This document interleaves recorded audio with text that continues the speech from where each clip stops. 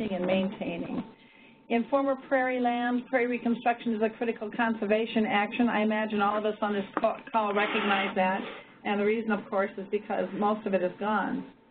So it's important for us to be able to do good quality plantings for however we decide to, um, uh, whatever diversity we decide to put on the land, we want it to be um, um, effective. So the Prairie Reconstruction Initiative began um, as a group of practitioners, researchers, and decision makers dedicated to figuring out what factors contribute to successful prairie reconstruction. Um, and Amanda McColpin and Paul Charland are coordinators for the project. Uh, get to know Amanda because she's the person who will be able to provide training and help get you set up on the on the database. Um, ben Weber, we'll see those two uh, pieces of information later. Ben Weber is another person who can help you with some of your questions. He's the team lead for the database team. We'll tell you more about that in a bit. And I'm the science coordinator for the Prairie Reconstruction Initiative. The, uh, there's an advisory team. Uh, the Prairie Reconstruction Advisory Team is consists of about 20 members, and um, it includes a diversity of different organizations and uh, this is really the, these are the workhorses. The people in this, this piece of the Prairie Reconstruction Initiative, these are the people who have carried the initiative to the point where we are right now. And um, um, I would say also the general membership is pushing around 200 members right now on the mailing list, and it, the momentum is growing. PRI is dedicated to sharing ideas, and the um, it's designed to be interactive to, provide opportunities for wrestling with the knotty problems and questions of prairie reconstruction. And some of the vehicles to share include the field days, and in, during these, uh, typically we focus on a particular question and brainstorm with peers, or we dedicate a session to learning about some aspect of, of prairie reconstruction. And it's up to the field leaders to decide how that would be structured. Um, we also use webinars to share ideas like this one. And there's a website which is hosted on the Eastern Tallgrass Prairie Big Rivers Landscape Conservation Cooperative website.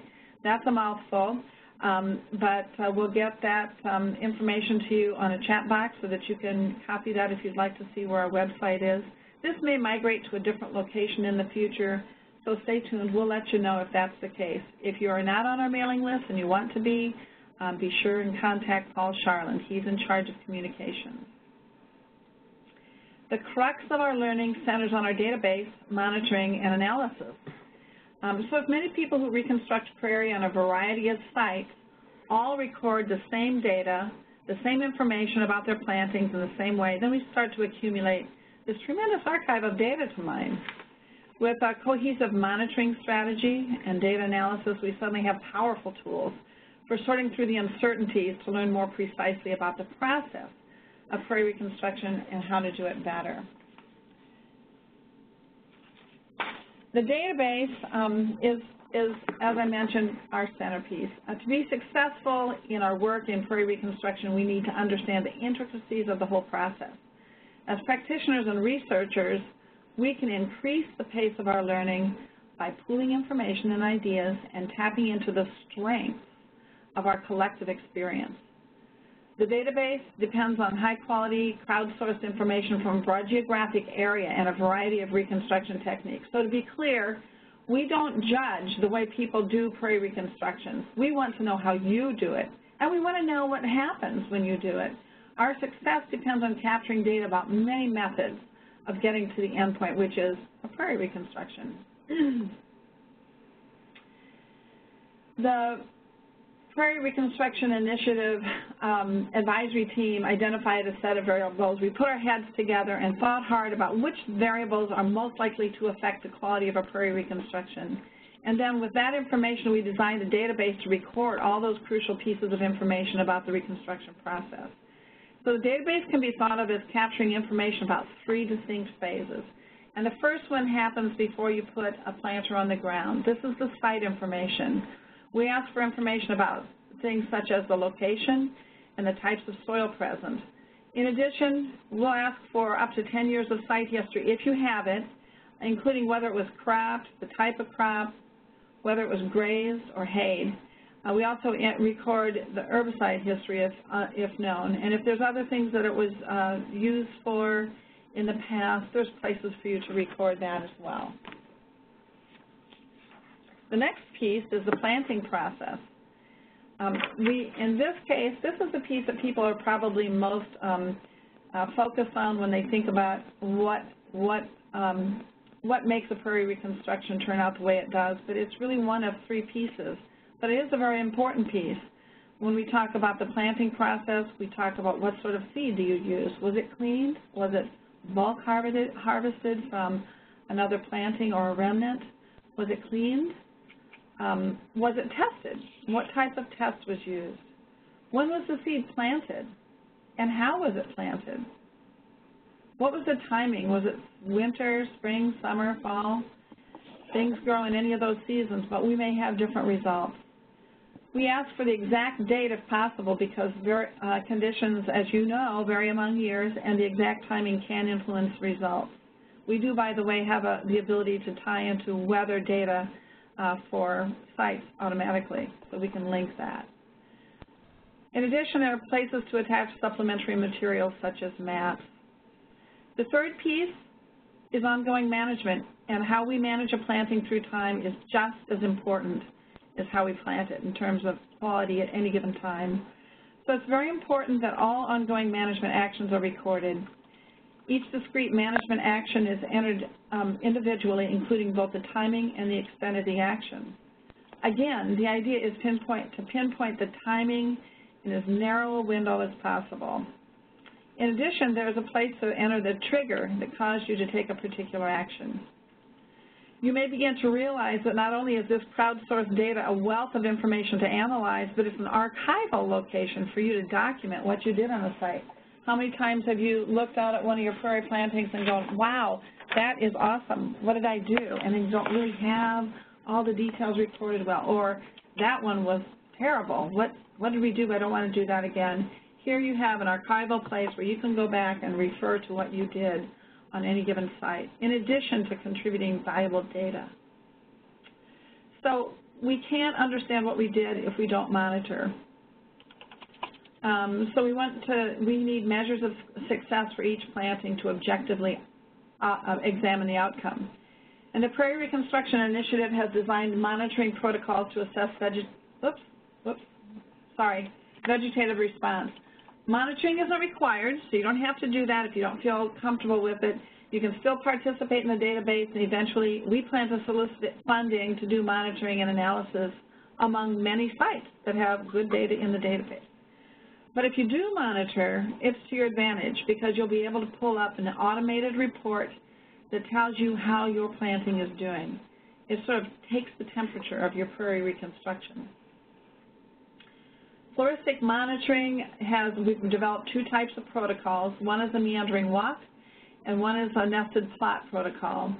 And these require different amounts of effort and skill, and they also answer different questions. I'm not going to talk about that in detail today, but do want you to know that we did test our floristic monitoring protocols last summer, and we've been making revisions on that based on our experiences.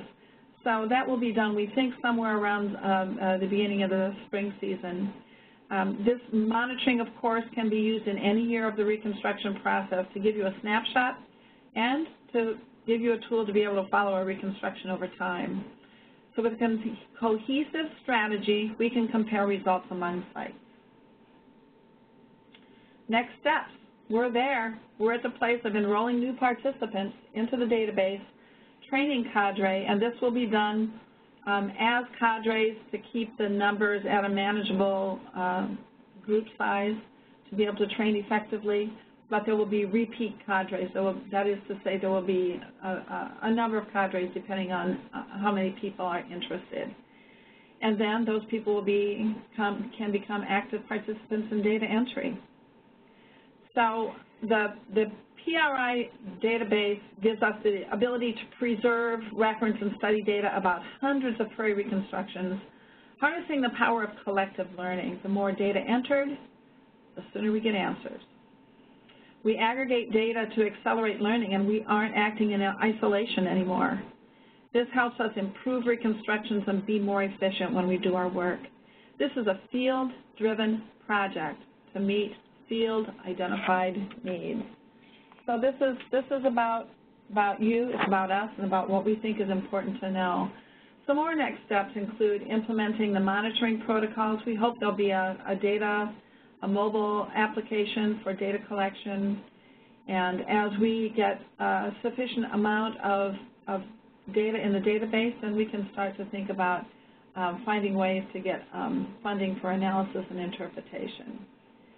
in summary, we think that collecting these details about reconstructions from a number of practitioners and pairing it with monitoring information will help us figure out which things to keep doing, which things to avoid, um, or not to spend valuable time on. Some things may not matter at all. Um, so that's just a, quick overview. I want to mention that there is a couple of videos. One of them is about the Prairie Reconstruction Initiative and what, what our goals and objectives are and, and where we're going. And the other one is about the database itself. So I think you'll find that uh, posted on the chat here in a minute. And right now I'd like to introduce you to Ben Walker, who is our database team lead. And Ben is going to, if all the stars line up, Ben's going to take us through a live demonstration of how the database works, so you'll be able to actually see it. Take it away, Ben. Thanks, Pauline. Let me grab control here.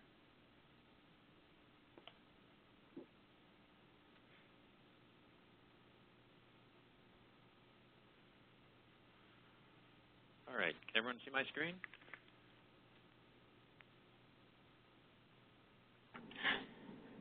Yep. I see it, Ben. Great. So, um, you know, first steps, um, so this is a, a, a, Microsoft SharePoint site. Um, it's hosted on our Department of Interior's um, DOI Connect, uh, which is basically a platform where we can share information with our partners. Um, so in order to gain access from the site, um, you, you, must request access through either myself or Amanda. Uh, we'll put our emails in the chat box there. Um, so just shoot one of us a note um, and just tell us that you want access to the PRI database. We're, we're just kind of going through some final testing. So we'll take your information down, and um, once once our final testing is finished, we'll give you access, and um, I believe we'll shoot you a note saying that you now have access to the uh, Prairie Reconstruction Initiative database. Um, so this is the main site, um, and uh, up in the, let me see if I could zoom this in a little bit. So uh, up in the top left, um, you'll basically see a link that'll take us to our data entry site. And this is our main page. Um, one thing, please do not enter any private land information um, until we have some privacy issues resolved. Um, and this is just kind of goes back to how we store uh, personal information. Um, it's a Department of the Interior and Fish and Wildlife Service um, issue. So we're, we're kind of working on that. I think we're making some pretty good progress. So Ben, do you mean that people should not enter any data if they're on private land, or they should not enter da location data? Um, as of right now, if, if a reconstruction is done on private land, um, please contact us, um, and we'll, we'll see if we can, um, or if we're at a point of where we can enter it, uh, but please don't automatically enter um, any information that was, was done on a private land. Uh, one thing, when you contact us about gaining access to the site, um, we're going to ask you about an overall site name. Um, and so how we have this database set up, it's kind of a three-tiered system um, in which we have an overall site, which could be a refuge, a wetland management district, um, an area wildlife office, and then from there we kind of break it down to the planting site, which is this, this planting unit information. You know, this could be an area of multiple seedings or perhaps a larger management area or, say, a complete WPA. And then we further break it down to a unique seed mix area, um, which is going to have that unique seed mix. So that's kind of our, our smallest scale of resolution. Um, so when you contact us, uh, please be sure to include an overall site because the site administrators are the only ones that are going to be able to add that overall site. So once we get you access to the site, add in your overall site to our, our main list, um, you'll be able to start going through and enter your information um, into the database. So I'm, uh, this is just going to kind of be a live demo um, showing you some of the fields that we came up with, um, you know, how it kind of jumps from form to form. And then uh, at the end, if anyone has any questions about anything, I'd be, be happy to answer those. So once the overall site information is in there, um, we can start entering. I'll just go to this planet, this planting unit information. Um, so let me just zoom out one there. Um, so I'll just I'll just demo those quick. Um, so I'm at Glacial Ridge National Wildlife Refuge. Um, that's my overall site. It's already been added. Um, my planting unit name, I'm going to add a large management area that we have, which is called Tilden South. Um, while you're going through, we have these little small pop-up. Basically, anything with a red asterisk cannot be blank. Um, so if you have questions about certain things, um, any field where we deemed maybe um, perhaps not clear, we added those pop-up um, um, windows. And if you go back to our home area, on the bottom here, we also have a database user guide, which if you click on this link, it downloads the complete user guide, um, which walks you through step by step. So back at the planet unit, or the, the planting unit, Glacial Ridge, Tilden South, put myself, the acreage for Tilden South is 2,603 acres. Um, you know, and, and we're we're kind of get we're kind of getting a little bit at the the planning process, um, the implementation, and then of course with the monitoring uh, protocols that we're going to be included in the end, a little bit at the outcome. And so for this um, site, we're looking at ecological restoration, I'm just going to put in here test. And as you're going through, when you submit your information, you're going to get a little pop-up that's going to say this form was submitted successfully. Okay, from there, um, at the top of all of our forms, um, we kind of have um, kind of quick links to the next form. Um, it, it kind of goes in a series. So once I have my planting unit information in here, I can hit my seed mix area. So my seed mix area, this is the area where I have my unique seeds. Um, and basically you can go down. I'm at Glacial Ridge, planting unit. I now have Tilden South. So my seed mix, um, let's call this Ridgetop A, and it's about 20 acres. Um, from here, we, we included on most forms an area where you can attach. Um, it's kind of hard to see um, our hover box here.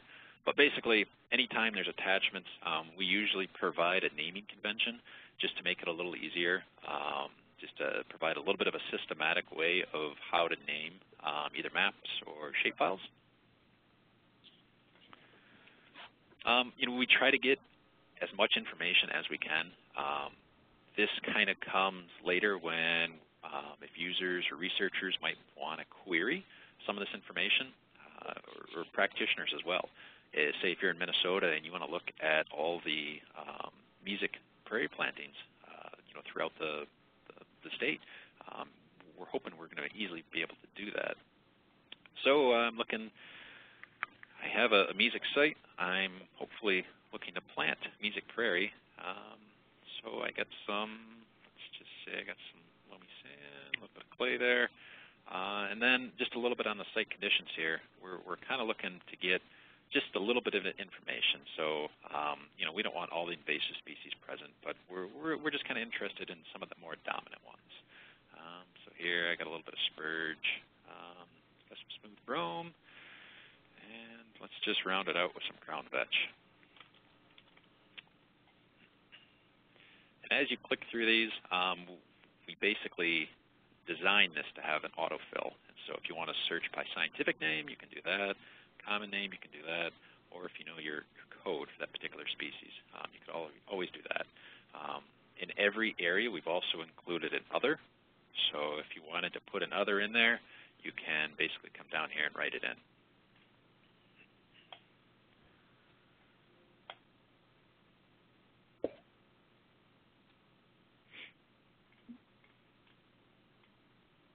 Okay, so after our seed mix area, we're going to go to our seed mix history. Um, this form was designed to try to gain as much information about the site as we possibly can.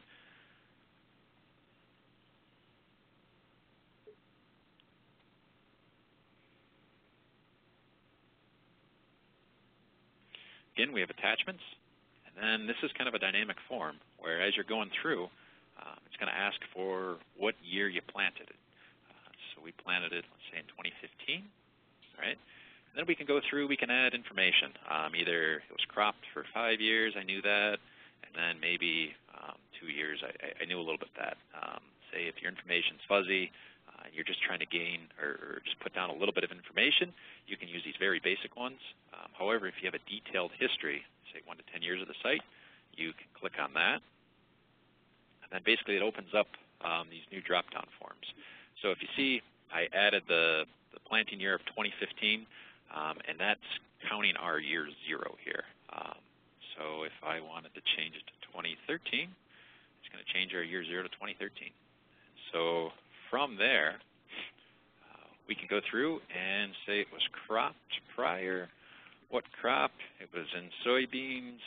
These were herbicide-resistant soybeans. Prior to that, let's say it was hay. Um, we had brome out there, number of cuttings, just say we had one. Prior to that, it was a pasture. It was in brome, and I had cow-calf pair. Number of grazers, I had 50. It, it's one of these, if you have um, an annual occurrence of, of kind of the same use, we added these copy previous ones. So if it was the same in 2011 as it was in 2010 and 29, 2009, we can just copy those and basically it'll auto-populate. Um, and so if you have detailed site history for all 10 years and it's the same, this is really a quick way to go through. Um, you know, we also included um, herbicide information, just very basic. Um, and so our, our herbicide-resistant soybeans, right there using glyphosate. Um, so it gives you a lot of options. You know, and this is this site's pretty flexible where we, we tried to limit the number of required fields um, to a few on each form to where you know you can enter as little or as much information as you have. Um, from there, any other concerns about this site? Um, this was a uh, this was a reclaimed munitions testing ground. Um, hopefully not. And then, of course, we always add comment boxes um, where you can type in or, or, write in any other information uh, that you may have about this area. We included this data quality rating. It's one of those where if you have excellent confidence in your data on the accuracy of it, um, please put the excellent, and you know we could kind of rate that. And so, you know, if you have a farmer who's telling you that it might have been in beans or it might have been in corn, I'm not really sure. Um, you know, you can you can basically rate your data a little bit there.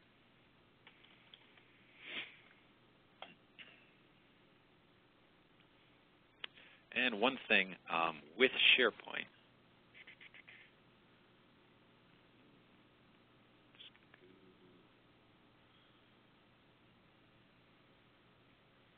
one thing with SharePoint, um, what we found is if you're working on something and someone calls you or you may get pulled to a different task, um, I, I, believe SharePoint will log you out after five or six minutes.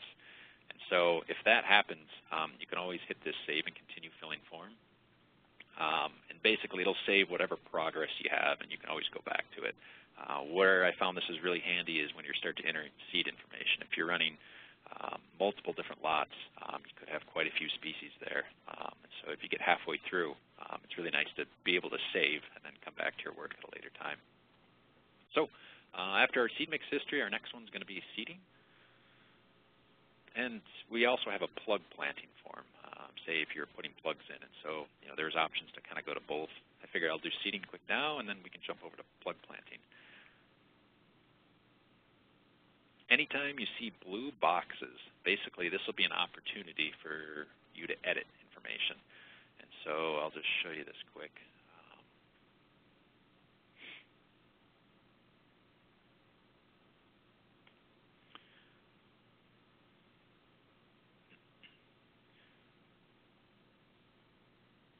so basically this would be a unique entry that I entered prior.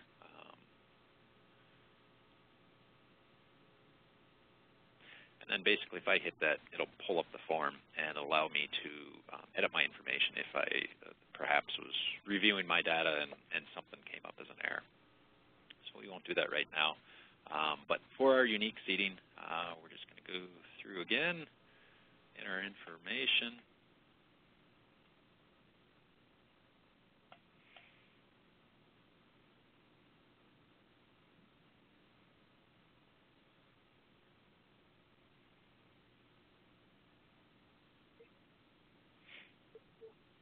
And then basically, we just want to start date and end date of when that seeding started. Um, see, we did it last week, starting Wednesday. And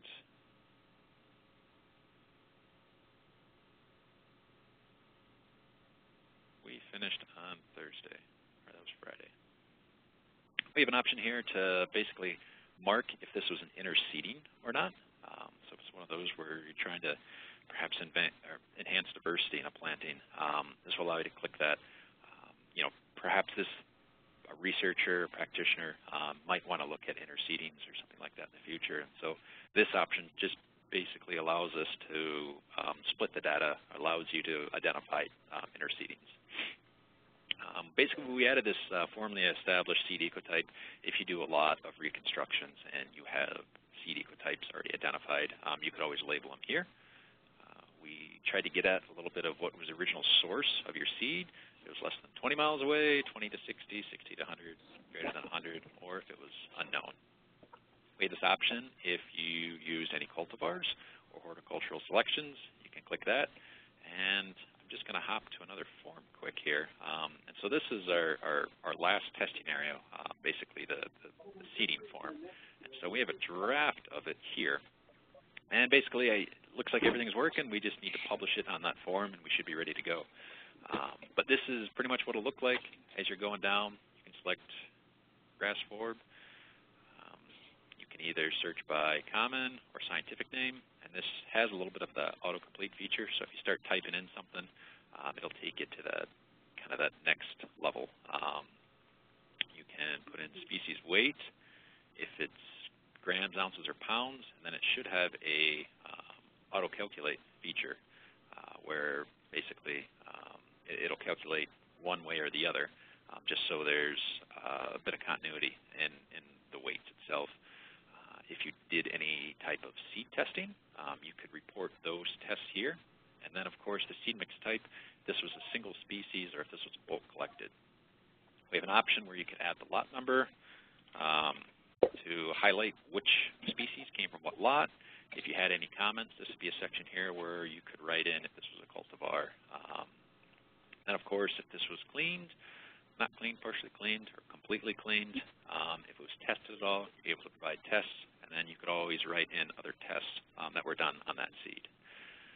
And so um, once you fill out your, your species list, um, we have a capacity of 50 species on this right now.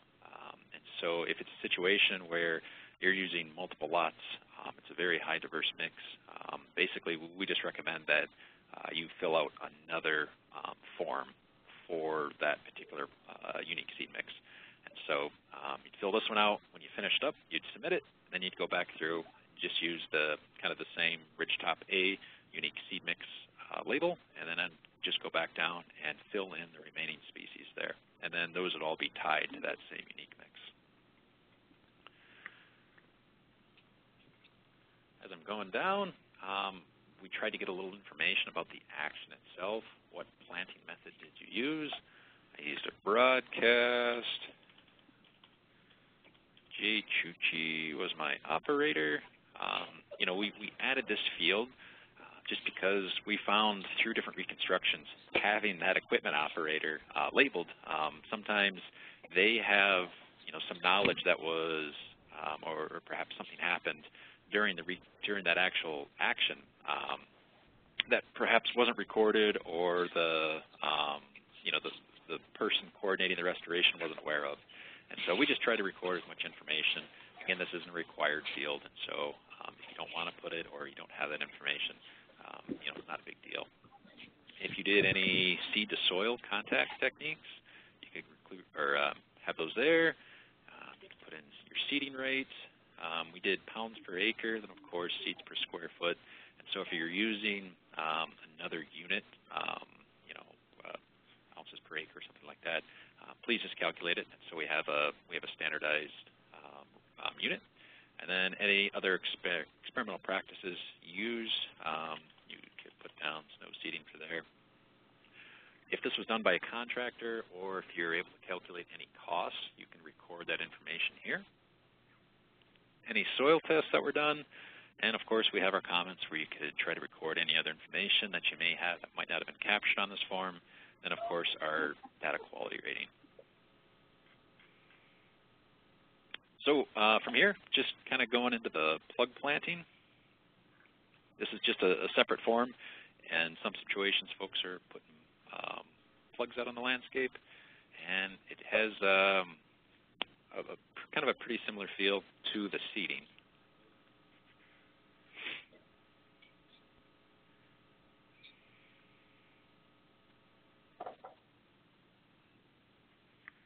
And I believe this form has a limit of 10 um, different plug species. And so if it's one of those where you have more plugs, um, you know, please just, just enter uh, multiple versions of this form. Again, start date and end date. Uh, we're trying to get that first date plugs are planted, and then the last date plugs are planted.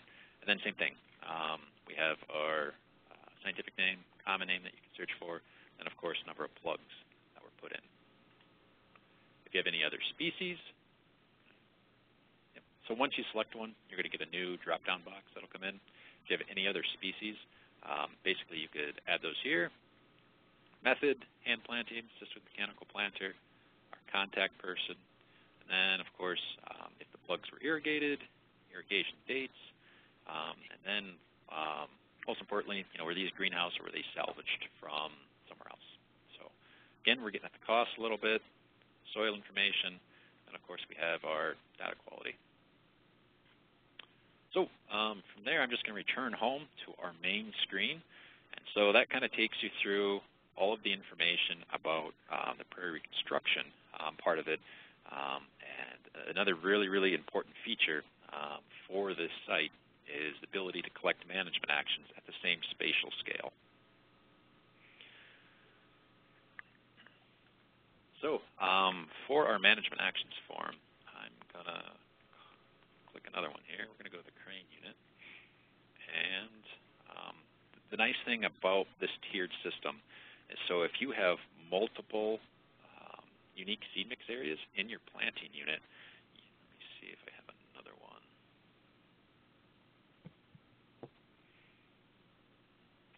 Basically, it'll allow you to capture that information um, you can just very quickly click on multiple items. So if I had other seed mixes here, they would show up basically in columns and rows here. And so if this management action applied to multiple unique seed mix areas, I can click all of those and submit the form once and be done. And it'll automatically apply those actions to that entire area. Um, so it, it, it really, it's kind of flexible where it allows you to pick out those um, small spatial scales, or you can apply it to a much larger area. Management contact person, then um, most importantly, you know, were management actions taken? Um, uh, actions that were taken are just as important as actions that weren't, weren't taken. And so in our user guide, you know, we try to get people, even if nothing happened um, in that particular seed planting, we'd still like you to go through here and um, say no actions weren't taken and it was a it was a rest year. So I'm just going to select yes and show you our different options here. So it's going to ask you for all the different actions uh, that were taken this year. And we're going to go with woody removal and herbicide.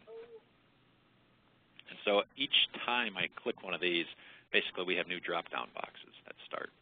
Um, and so if, if you're going through and, and say you uh, you mowed twice or something like that. Um, we would like those entered as two separate management actions. And so the start date would be that first day mowing occurred, and then the end date would be the last time, um, or the, the, that end date of that mowing action. Management trigger, uh, we're trying to get it just a little bit of information at why um, this action was kind of set off. We'll just say high composition of invasive species and um, low native species cover. and then if you have anything else, you could always add it in these comment boxes. And herbicide, um, how you did it, we, uh, we did cut stump, and then we have a, a long list of herbicide options. Basically, this is a more or less a complete list of um, the trade names for most of the herbicides out there. Um, it's it's kind of long, but it's got the um, kind of autocomplete feature on there as well. So go through, find it. If you don't um, see your list or your, your herbicide on the list, there should be another one.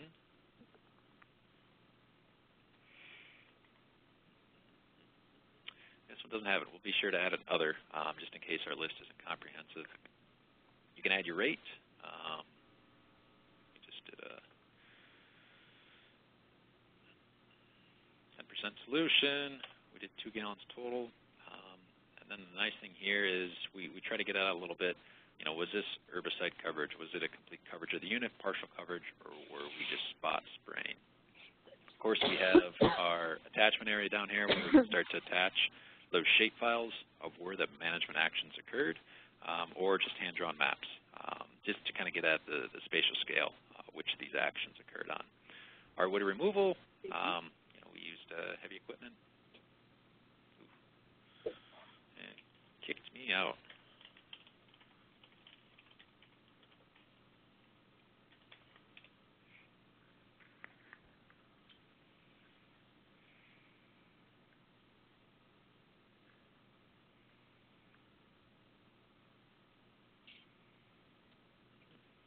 Okay. SharePoint just dropped off quick.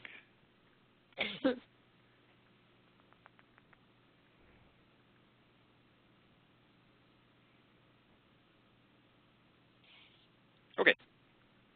So hopefully you can see that. Um, this is kind of where we left off. Um, so we're talking about woody actions. Um, I'm just going to kind of turn that over to Fire now. Um, and basically it gives you the, the same options here um, where you can say that, you know, this was a prescribed fire, uh, this covered partial um, partial areas of the unit or it covered the complete unit. Um, and then same thing, the same options as far as grazers. Um, we were able to, to basically just pull those lists over, um, talk about the different grazers that you could have, number of animals grazing, and of course that coverage of the unit. And um, finally, um, you know, a text box there where we could add any other management actions. Um, and then I talked about earlier, area where you can add those shape files, maps where these areas occurred, and of course our, our data quality rating. Um, so that is, those are all of our forms. Um, I'm just going to kind of come back here. Um, you know, please please contact Amanda or myself um, to gain access. We're going through this, this last round of testing. It shouldn't take long. And then we're going to start adding folks to the database um, here pretty quick so you can start entering your information. Um, also, the, our, our information's in the chat box there if you just want to copy um, our, our, uh, our emails. So overall, overall, I mean, it's, it's, it's a, system where I think we covered most of the fields um, of what actions might occur during a prairie reconstruction. Um, this is a centralized database. Um, it's stored on our, our servers in Denver. Um, so it's one of those where um, I believe we designed it in a way where users can easily be trained in it. You can have multiple folks in an office um, that, that know how to access, know how to extract their information. So it really kind of creates a little bit of redundancy um, within staffs, if there's turnover, retirements, um, et cetera. Um, so as Pauline mentioned, you know, we, we hope to kind of take that next step um, into perhaps a mobile application, um, adding the monitoring protocols. Um, those monitoring protocols are really our, our, our next big step um, where you know, we kind of have that complete process of um, reconstruction information. We'll have our management action um, area, and of course we have the outcome where we can start to look with our monitoring protocols. So if uh, anyone has any questions about anything, uh, we'd be happy to answer those.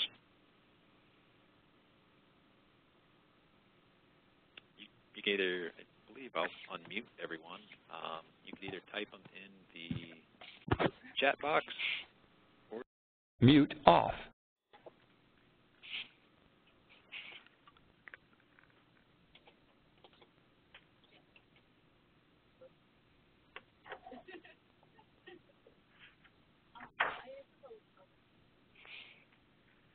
Um, one other thing that that uh, Pauline mentioned earlier, Um, we have a couple videos um, that we put together for PRI.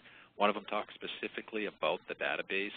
Um, you know, it's kind of a, a, very much abbreviated version of this presentation. Um, it, it kind of goes through, talks about some of the um, issues initially with prairie reconstruction, talk about you know our, our vision for the database, um, and I believe it's only about four or five minutes long, and it's great, you know, if you want to show project leaders or other folks that, that may not have a good idea of what PRI does or may not have a good idea of what we're trying to get at with this database.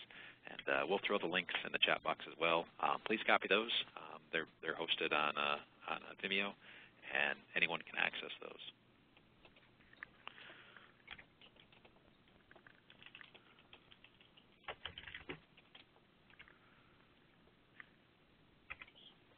Hey, Ben. It's um, Trina from Litchfield. Hey, Trina.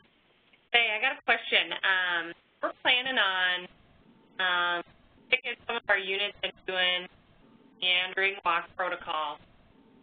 We also have a couple units, um, I don't know, I'll call them showcase units that um, would be really useful to have history um, those units. As far as like the PRI group and um, what we're putting in the database, do you guys have preference? Do you want us to start putting in our reconstructions, um, you know, that we're planning on monitoring? I think those have to be in the database.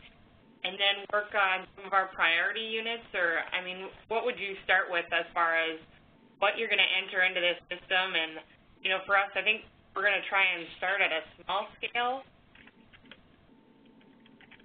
yeah, no, I, I, I, I think that's a you know kind of a great plan you have there. Um, you know, it, it I, th I, think the database becomes more powerful if you're able to um, you know make those connections between the reconstructions and the monitoring. So yeah, if you start to enter those first, and then start to look at some of those showcase units and enter those as you have time. I mean, yeah, that that'd be great. And, and I want to uh, just um, kind of um, um, elaborate just a little bit on what Ben just said. The, um, the uh, Amanda is going to take uh, names of people who want to go through the training, who want who want to get into the database and start doing this.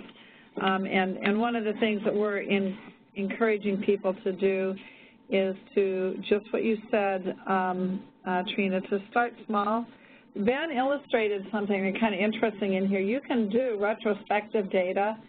So he he did an example where he was entering 2015 uh, data from a 2015 planting, and you can do that. Um, and I think what we want to do right now, just to get people started, is pick something easy. Pick you know two or three that are that are recent or new, and and uh, to kind of get the the, a familiarity with the, the database. You can always add more, but uh, it's good to, we think it's good to start with um, something kind of new and um, um, just start tracking them as you as you go. It's some, sometimes what we've heard, what we've learned is that um, even though we think we have really good data about past plantings, that, that there's some kind of blanks in our information because we didn't always record every detail the way we would have liked to have. Now, that said, if you have information even about a current one and you don't have every piece of information, that's that's okay too. But the, the more you can put in, the better.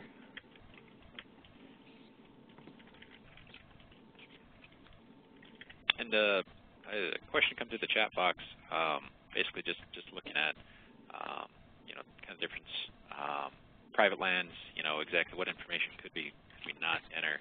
Um, for the Fish and Wildlife Service, um, you know, right now, um, you know, private land that has easements or partner projects on there, um, yeah, those are the type of lands that, that we can't add right now. Um, we're, we're hoping to have this this kind of figured out here pretty quick. Um, I know Andy Alstead um, with the Fish and Wildlife Service is working on it. Uh, areas that, uh, like Nature Conservancy or something like that, has restored in the past and they're becoming WPAs. Um, you know, any of our the Fish and Wildlife Services fee title lands uh, certainly can be entered, even if they were uh, restored prior to our ownership.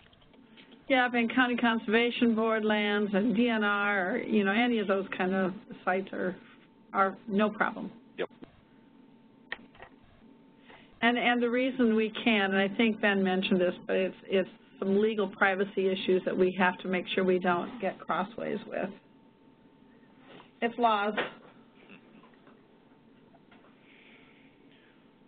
Any other questions? Okay, if, if anything comes up, um, like I said, you, you have our contact information. Please feel free to email one of us. Um, we, would be happy to answer any questions. Um, we're going to have this live here pretty quick, and uh, we'll be sure to, to add folks um, to the site if they want access to it. Hey, Ben, I have a question. This JB. Sure. Is there a reporting feature, kind of a summary? Yep, that's that's kind of our next step. Um, you know, our, our, our, kind of our version one was to get it fully up and operational. Um, we are looking at automated reports, um, something where um, you know a user manager could go in, click on a couple boxes, and you know get that species list, get that information, um, perhaps draw a map or two. Um, and so that's definitely going to be on our version two, um, and it's it's kind of um, you know, our, our next big step with this. And there's two types of reports that we're looking at. One of them is just exactly what Ben described, a report of the data that you put in. So you could take that, print it out, put it in your file, and that would serve as your as your record for what you did that year on that planting. But the other piece that we're, we will be working on will be um, the monitoring data entry piece and the uh, the report that comes out when the the um, the, this database interacts with our uh, the monitoring data and gives us a report on that interprets the kind of the status of your planting, how how uh, based on several metrics, um, how does it measure up? So that will be a second sort of report that you can generate. Um, but like Ben says, this is uh, for a future version.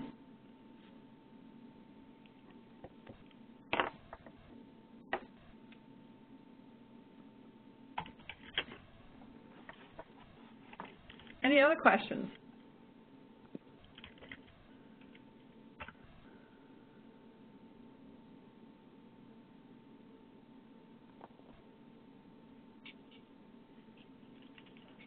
Okay, well, we certainly appreciate your attention and, and uh, do, do get in contact.